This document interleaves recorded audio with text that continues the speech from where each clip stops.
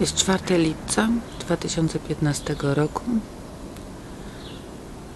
Mówi Beata Andreas we Wrocławiu. Nagrywam Państwu kolejny dokument Chemitrials. Takiego nieba w moim dzieciństwie nie widać było nigdy. Niebo było błękitne. Nawet piosenkę, pamiętacie Państwo Jackowski Man, z Manem śpiewał taką piosenkę oprócz błękitnego nieba nic mi więcej nie potrzeba. A dzisiaj jest taka sytuacja w 2015 roku, że niebo bardzo rzadko, nie pamiętam kiedy. I to potwierdzają sąsiedzi, tu moi e, we Wrocławiu, czy Polacy, z którymi rozmawiałam na ten temat, nie ma błękitnego nieba. Ludzie się do tego przyzwyczaili, jakby nie rozumiejąc, co się dzieje,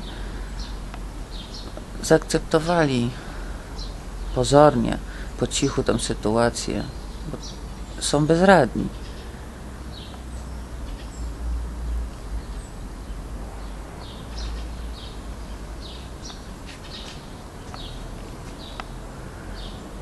Takie krzyże z tych y, smug jest rano 7.30 i je- jeszcze się nie rozproszyły. Y, Z obserwacji wiem, że y, po jakimś czasie będzie to pełne zachmurzenie, bardziej gęste lub mniej gęste.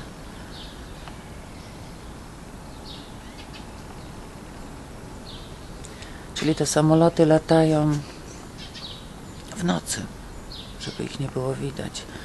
Y, Nie słychać tych samolotów, więc są to jakieś maszyny takie, które, bo jak lecą e, myśliwce wojskowe, to zawsze je bardzo dobrze słychać. Jakiś inny rodzaj samolotów jest to, które nie wydają dźwięków.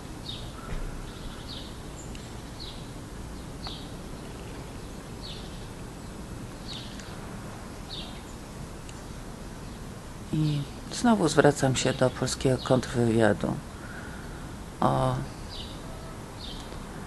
zajęcie się tym problemem i o uświadamianie Polaków, e, z czym mają do czynienia, bo tu trzeba być wysokiej klasy specjalistą, żeby o tym mówić i w to się zagłębiać, bo to nie są zwykłe chmury. Tego jestem pewna. To nie są zwykłe chmury, proszę Państwa. Na pierwszym planie widzicie Państwo dom sejmikowy, ten z lewej. Z- prawej jest to świerk, a z lewej jest to dom ten sejmikowy, na którym na jesień zbierają się szpaki. Bardzo pouczające zjawisko sejmikowania.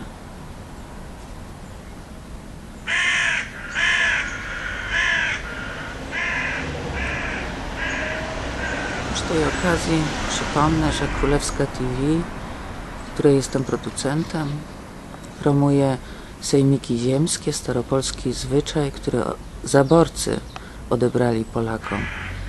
I po 123 latach, kiedy Polska odzyskała niepodległość, nie powrócono do nie, restytu, nie restytuowano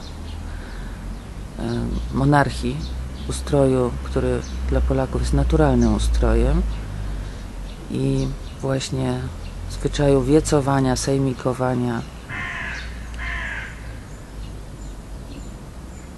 Dlatego trzeba nam powrócić do zwyczaju naszych przodków, których państwo w tym ustroju właśnie sejmikowym elekcyjnych króli, wolnego głosu było imperium, największym państwem w Europie. I to nie my biegaliśmy, my Polacy biegaliśmy w skórach e, tysiąc lat temu czy 1500 lat temu, tylko inne dzisiaj uzurpujące sobie miejsce w G7 czy G5 państwa. My Polacy naprawdę nie mamy się czego wstydzić w naszej historii. Mamy bardzo piękną historię, starą, wiele tysięcy lat, być może nawet 10 tysięcy. I nie pozwolimy, żeby bezkarnie pod płaszczykiem NATO zatruwano nas i nasze dzieci, i nasze wnuki. Dziękuję za uwagę. Do następnego nagrania. Чем дальше на там?